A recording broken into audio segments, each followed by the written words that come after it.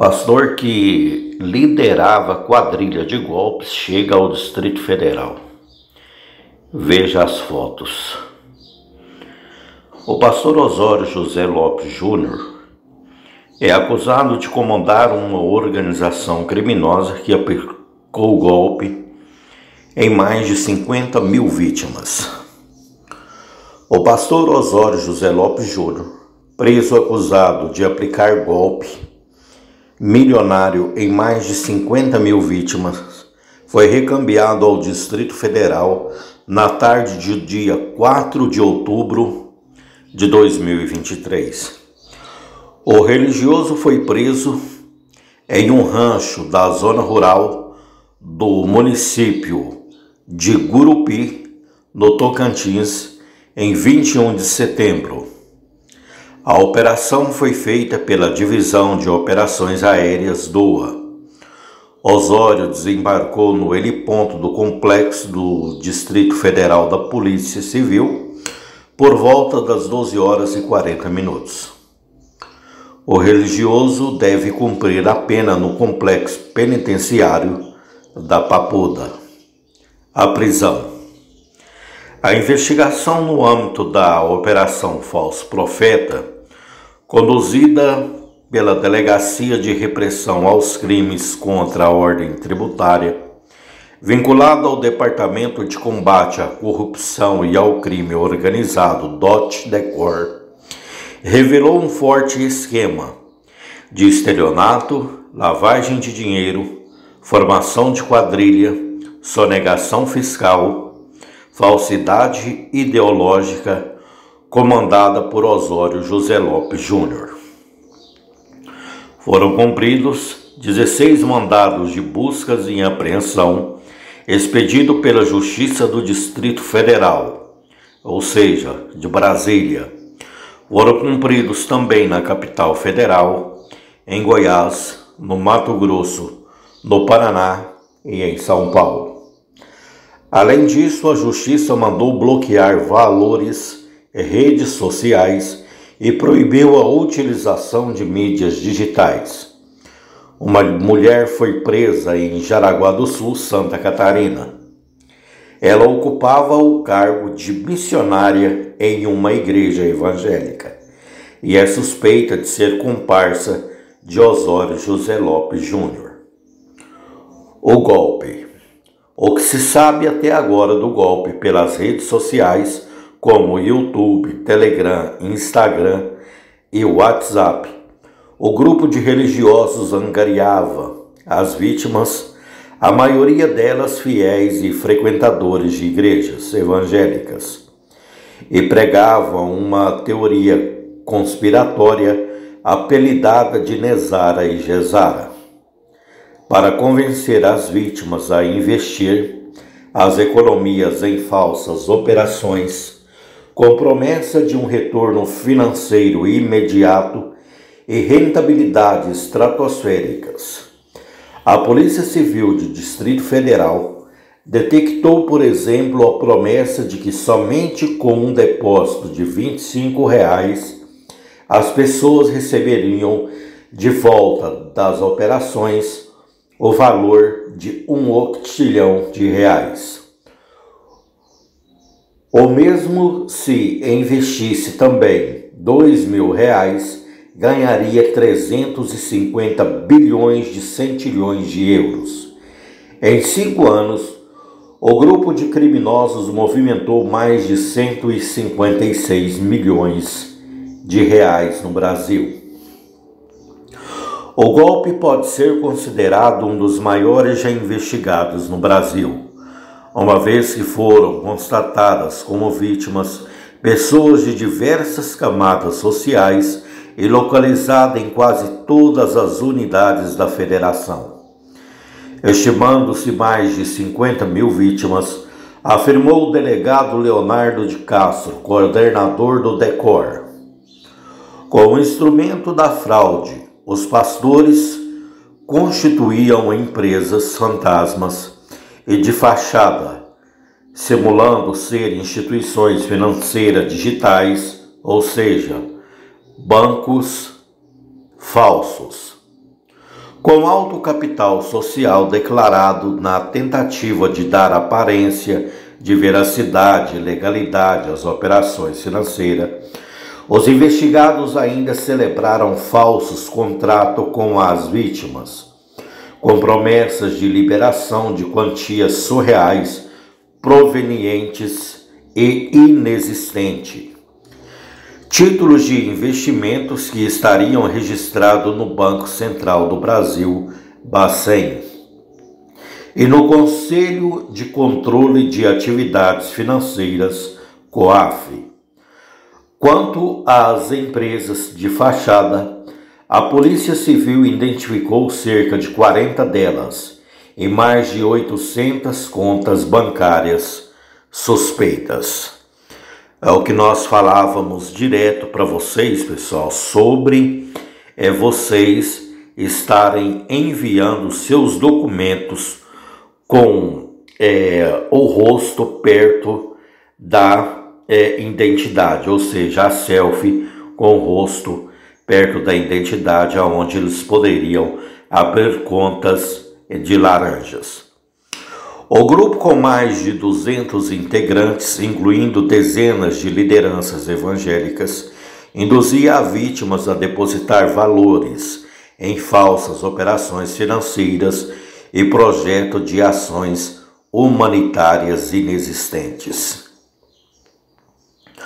Os pastores investigados pela Polícia Civil do Distrito Federal por aplicar golpes milionários usavam, além do nome do ex-ministro da Economia Paulo Guedes, nome de três ex-presidentes para obter dinheiro dos fiéis. Para dar viés de credibilidade aos investimentos fraudulentos, os criminosos chegaram a citar nomes de ex-presidentes como Jair Bolsonaro, PL, Donald Trump, ex-presidente dos Estados Unidos, e Nicolas Sarkozy, ex-presidente da França. Osório José Lopes Júnior dizia aos fiéis que os títulos oferecidos tinham autorização do governo federal por meio do ex-ministro da Economia Paulo Guedes para serem pagos. Eles diziam que os, para os fiéis que precisavam votar no Bolsonaro, porque se o Lula se elegesse, ia dificultar os pagamentos. Durante as negociações, os golpistas alegavam que Donald Trump e Nicolas Sarkozy também eram apoiadores do projeto. Parte do dinheiro, inclusive, iria vir dos Estados Unidos. A investigação aponta que os suspeitos formam uma rede criminosa estruturalmente ordenada e hierarquizada e caracterizada pela divisão de tarefa especializada em diversos crimes como falsidade ideológica, lavagem de dinheiro, sonegação fiscal, estelionato por meio de redes sociais. Os alvos poderão responder a depender de sua participação no esquema, pelos delitos de estelionato, falsificação de documento, falsidade ideológica, lavagem de dinheiro, crimes contra a organização tributária e organização criminosa. Algumas pessoas ainda estão sendo investigadas. São elas e eles. Um exemplo: Operação Master News. Juliano Ferreira da Cunha Costa. Marlos é, Salomão. É, Roberto Salomão, já condenado pela Justiça de Brasília. Carlos Roberto Vilela. Admar de Almeida. Luiz Aurélio da Silva. Luiz Geraldo Queiroz, famoso dos Cavalinhos. Eleusa Siqueira Batista, já denunciada pelo Ministério Público do Estado de São Paulo.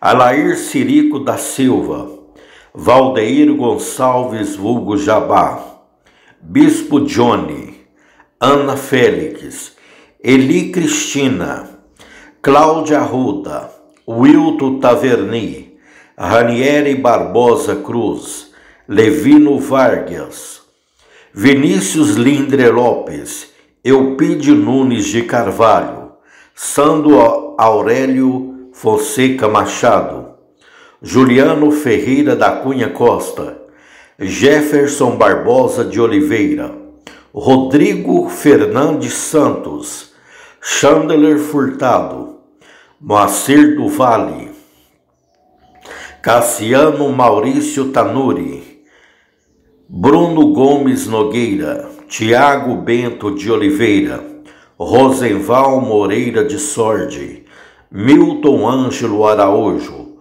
João Carlos Vieira Restig, vulgo João Cigano, Marta Guimarães Câmara, Luciana Cristina Moreira de Sorde, Lucivalda Maria das Chagas Jesus, Sônia de Oliveira, Maralice Maria dos Santos, Luciene Silva Lopes Silva, Veridiana de Freitas Leão, Marlúcia Pereira Lopes, Gislaine Rosa, Valden Islaine Leal da Silva, Raquel Reis da Nasceno, Mágia Marques da Silva Almeida, Pastora Salete, Pastor Osório é o chefe da Orcrim, ou seja, organização criminosa. Relembre o caso e quem era Osório José Lopes Júnior. Osório é acusado de aplicar golpe em fiéis de Goianésia no centro de Goiás e demais pessoas de vários estados da federação. Em 2018, à época, ele e outro pastor alegavam que havia ganhado um título de um bilhão de reais, mas precisavam reunir fundo para conseguir recebê-lo. Ainda em 2018, o homem chegou a ser preso mas respondia o processo em liberdade. A sentença ainda foi proferida pela Justiça.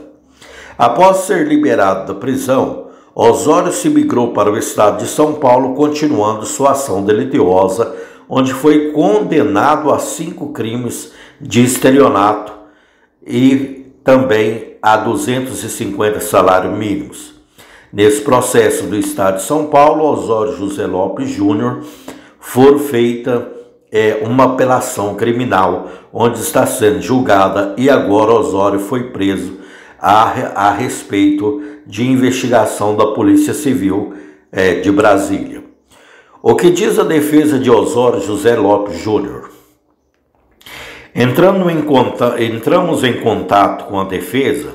Em nota, a defesa do pastor informou que ainda não teve acesso aos autos e que precisa ver o fundamento da decretação da prisão para depois requerer a revogação. Se for indeferida, irá impertar um habeas corpus.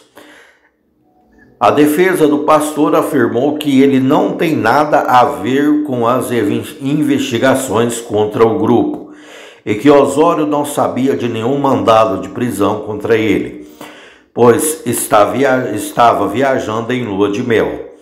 Além disso, detalhou que desconhecia as acusações ora imputada a ele. Então, pessoal, o que nós falamos para você aí é que Osório José Lopes Júnior fala que a, a defesa aí dele, que Osório não tinha conhecimento é, dessas é, atividades ilícitas que Osório praticara, né? Juntamente que ele chegava todos os dias no canal do YouTube, onde ele tinha 70 mil pessoas com a ajuda do Anselmo do Raubenck, que é outro também que está sendo investigado, pastora Salete também sendo investigada, né? E Osório sabia muito bem do que falava. Ele falava que iria pagar as pessoas na audiência do dia 8 do 11 de 2022, na audiência de instrução e julgamento na cidade de Goiânia, Goiás, via é, mídia de internet, Osório é, afirmou à promotoria e também à magistrada Placidina Pires que queria só um tempo até dezembro para estar pagando todo o pessoal de Goianésia. Esses autos estão conclusos para a sentença, onde Osório José Lopes Júnior com certeza será condenado. E agora Osório, a defesa de Osório, fala que ele não tinha conhecimento.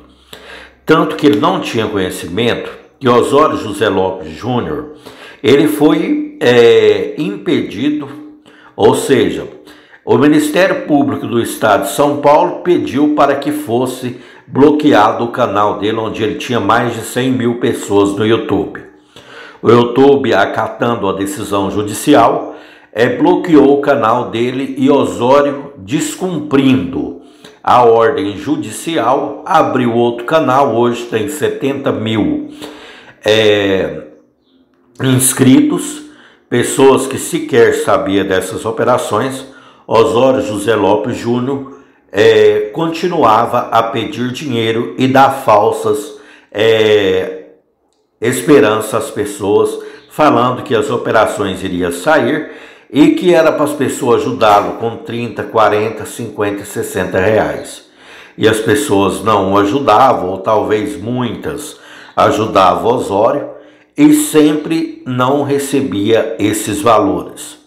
Osório prometeu o sorteio de um veículo HB20 e esse veículo depois Osório fez é, com que 100 pessoas assinassem um documento lá para que ele pudesse vender esse carro, carro que nunca existiu, né? E depois falou que estava enviando cesta básica para as pessoas, é, enviava livro, falava que iria enviar combos de livro para as pessoas, muitas pessoas não receberam esses combos desses livros, inclusive tem várias reclamações nos comentários, né? Inclusive agora, se você entrar no canal de Osório José Lopes Júnior, você pode notar que todos os vídeos dele estão com os comentários desativados desativados por ele, para que as pessoas não possam falar nada. Então, o que, que acontece? Nós sempre abrimos os olhos de vocês, sempre falávamos para vocês que isso era um crime, que ele estava praticando um crime de estelionato, lavagem de dinheiro, formação de quadrilha, organização criminosa, crime contra o, o, a, a tributação né, financeira. Nós falávamos usando o nome do Paulo Guedes, usando o nome de presidentes, usando o nome de instituições financeiras como Banco do Brasil, Caixa Econômica Federal, é, Nubank, é, Banco Santander, outros vários bancos. Falava também que isso eram toneladas, bilhões de quilos de ouro como Luiz Aurélio falava, que bilhões de quilos de ouro tinha descido no aeroporto de São Paulo, mais de não sei quantos, parece que 300 ou 400 Boeing é, carregado de ouro tinha descido no estado de São Paulo para estar descarregando esse ouro, que esse dinheiro iria ser dividido com as pessoas. Só que um tanto de valor de, desses dinheiro esses ouros, esses valores, eles pediam 25 reais para protocolar um documento, outra hora para pagar alguma coisa que aquele Geraldo Queiroz, né, falava direto que ia pagar algum documento, inclusive usava distintivo falso federal para dar viés de credibilidade para as pessoas só que a pessoa acha que a polícia é boba. A polícia não investiga e acha que a internet é uma terra sem lei. Pode falar o que for, pode fazer o que for, que o que você fala não tem é, aquela volta para você.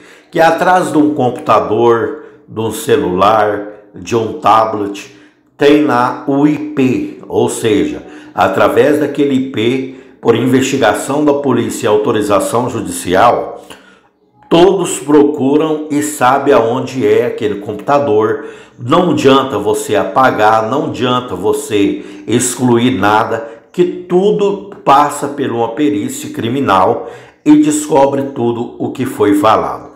Então agora o que nós falamos é o seguinte: todo esse pessoal que está aí falando de operações sobre Nesara, Gesara, GCR, Operação de Osório, Operações Londres, todas essas operações caem por terra.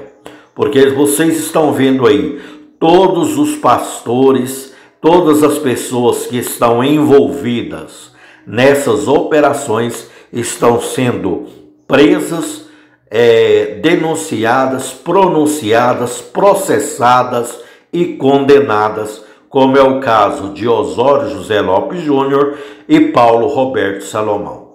Desde já, nós aqui do canal é, te agradece, lembrando que hoje é 2 de novembro de 2023. Um grande abraço, estamos junto aqui e conte sempre conosco e se você puder, compartilhe esse áudio para mais pessoas não continuar caindo nesse golpe é que seja estar enviando dinheiro para essas pessoas. É, ficar fomentando esses, essa organização que está aí simplesmente para tomar dinheiro de vocês. Um grande abraço e que Deus abençoe cada um de vocês.